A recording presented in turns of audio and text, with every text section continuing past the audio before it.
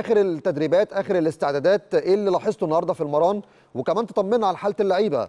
سمعنا إن كان في إصابة لوليد سليمان. رمضان صبحي وحاله جاهزيته وشفائه وجاهزيته أيضا لمباراة يوم السبت إن شاء الله.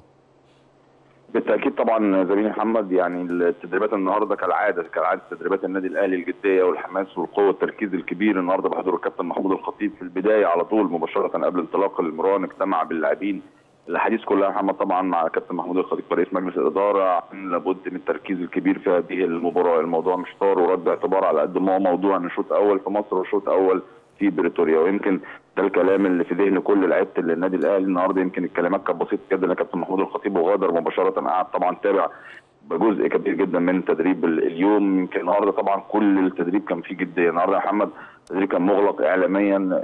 كالعادة طبعا نيف في التوقيتات اللي بيختار فيها إن يكون تدريبات مغلقة اعلاميا. بيتم غلق الملعب تماما. النهارده كان الموضوع صعب شوية ان إحنا نقدر نشوف فقرات تدريبية نشوف تدريبات بشكل كبير لكن النهارده كان التدريب كالعادة جزء بدني كان في جزء خططي كبير جدا والتقسيمة كمان يا محمد النهارده اللي كانت فيها جدية وحماس وأثرت بشكل كبير النهارده على بعض اللعيبه منهم وليد سليمان الحماس الكبير مع محمود وحيد هي مش إصابة لكن على قد ما هي اشتراك بس بينهم وبين بعض النهارده في التدريب لكن وليد سليمان جاهز بنسبة 100% لهذه المباراة. يمكن بعض الأخبار في الساعات الماضية بالتحديد قالت إن وليد سليمان عنده إصابة وممكن يكون في اختبار طبي ليه غد. لا بأكد لك يا محمد إن وليد سليم 100% إن شاء الله يكون متواجد في مباراة السبت بإذن الله. رمضان صبحي يمكن طبعا زي ما بنقول رمضان ما شاركش في تدريب الأمس وما شاركش أيضا كمان النهارده في التدريب بالكامل. من الواضح أيضا رمضان في تحفظ بشكل كبير جدا عليه لانهاء فترة التأهيل رمضان خلاص في المراحل النهائية يا محمد. هي طبعا بتكون رؤية فنية وطبية في نفس الوقت. لكن رمضان أقدر أقول لك إن هو بيخش تدريجي في بعض التدريبات الكورة في بعض التدريبات الجماعية. لكن حتة التاني انه يكون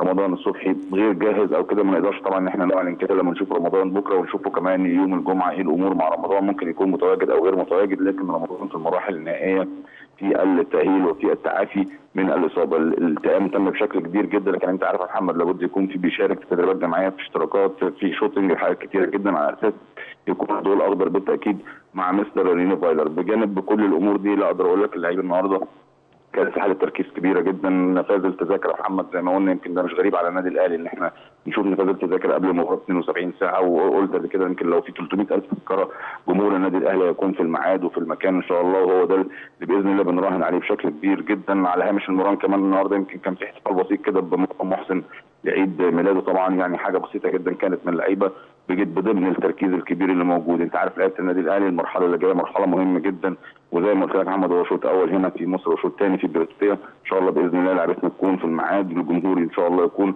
متواجد كالعادة. الهتاف التشجيع النادي الأهلي فقط لغير مش عايزين أي تمام. أمور تعكر صف هذه المباراة. وإن شاء الله محمد بإذن الله ربنا يوفق بقى اللعيبة ويوفق مستر ريني فايلر في اختيار تشكيل الأمثل وخلاص بقى لغاية يوم الجمعة بإذن الله يكون آخر تدريب في النادي الأهلي. ما يبقاش فيه أي إصابات إن شاء الله لعيبه النادي الأهلي. بإذن الله. طيب جلسة الكابتن محمود الخطيب مع اللاعبين استمرت يعني مساحة من الوقت ولا كانت جلسة في الملعب في أرضية ملعب التتش؟ يمكن طبعا محمد البداية خالص بداية المران كابتن الفصل توجه للعيبة النادي الأهلي كانت في أرضية ملعب التتش. يعني يمكن اجتمع بيهم في أرض الملعب اتكلم معاهم بشكل كبير جدا عن أهمية المباراة واهميه إسعاد جمهور النادي الأهلي والاستمرار في سلسلة الانتصارات وأيضا كمان البطولة الأفريقية اللي غايبه بشكل كبير جدا. قال لهم لابد يكون التركيز فقط لغير في هذه المباراة. مش عايزين نشغل أنفسنا بأي شيء. اتكلم كمان مستر فايلر اتكلم كابتن عبد الحفيظ عقب انتهاء الكابتن محمود الخطيب من حديثه مع اللاعبين. أقدر أقول لك يعني من ثلاث لأربع دقائق كده محمد عارف الكابتن بيبي بيبقى برسائل بسيطة جدا للعيبة النادي الأهلي حضوره لوحده هو رسالة كمان حديثه بيبقى يكون رسالة أكبر وده اللي بأكد لك عليه إن هو واصل للعيبة وواصل لكل الجهاز الفني للنادي الأهلي على أهمية هذه المباراة مباراة تقبل القسم على اثنين محتاجة بس إن إحنا نركز بشكل كبير لأن أنت عارف محمد الفرقة واصلة بدري فرقة سان داونز واصلة بدري وعندها تدريب يوم واثنين وثلاثة وعايزة تعيش الأجواء بشكل كبير جدا في مصر فأكيد هم مركزين لكن إن شاء الله يكون تركيزنا أكبر بإذن الله يكون حماسنا أكبر إن شاء الله ويبان بإذن الله في الملعب زميلي محمد سعيد في برنامج بدني بالفعل محدد لكهربا وياسر إبراهيم وجونيور اجاييه ولا الفريق بالكامل بينفذ برنامج واحد؟ يمكن طبعا عشان غياب اجاييه بالتحديد وياسر إبراهيم وكهربا عن التدريبات الأخيرة أو الحمل التدريبي بالنسبة للمباراة الأخيرة مباراة الزمالك. آه يعني نقدر نقول في برنامج مخصص بسيط ليهم لرفع طبعا معدلات اللياقة البدنية ليهم ووضعهم أيضا في جاهزية تامة لأن مشاركتهم إن شاء الله في البطولة الأفريقية وفي مباراة سان داونز بالتحديد.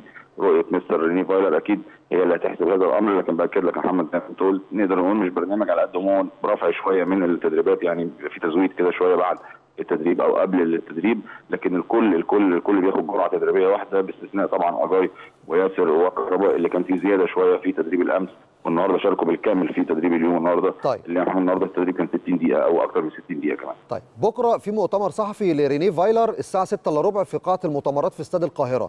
هل التمرين هيكون في استاد القاهرة ولا التمرين هيكون في ملعب التتش؟ وهل تم التنسيق لفريق سان داونز انه يكون ليه تدريب على استاد القاهرة بكرة بالكتير قبل طبعا مباراة يوم السبت؟ تدريب النادي الأهلي يا محمد غدا هيكون 11 صباحا على ملعب مختار التتش طبعا. زي ما انت أكدت وقلت هيكون المؤتمر الصحفي في قاعة المؤتمر باستاد القاهرة بحضور مستر ريني فايلر لكن هو تدريب فريق النادي الأهلي هيكون 11 صباحا غدا على استاد مختار التتش يمكن نادي سان داونز يعني يوم يوم الأربعاء اللي هو النهارده كان المفروض 7 مساء تدريبه على بيترو سبورت. بكرة يا محمد هيكون تدريبه على استاد القاهرة. يوم الخميس الجمعة هيرجع تاني لاستاد بيترو سبورت. نظرا طبعا طبعا مشغول انت عارف والتأمين كمان هيكون بيستل الأمن يكون بيستلم الملعب قبل المباراة ب 24 ساعة فأكيد ترحيلهم لاستاد بترو سبورت يوم الجمعة. من المعتاد إن اليوم اللي بيكون قبل المباراة بيكون على الملعب لكن طبقا للظروف والتنسيق اللي تم اختار بيه المسؤول طبعا عنهم أو أكيد أيضا كمان نادي سان داونز فتمت الموافقه على كده. بالظبط. بكرة الخميس تدريب على استاد القاهرة ولكن يوم الجمعة الذي يسبق المباراة بيوم يرجعوا تاني لاستاد بترو سبورت. تمام. زميلي العزيز كريم أحمد بشكرك شكرا جزيلا. وعايز أكمل معاكم بنفس الصورة اللي قدامكم على الشاشة. كابتن محمود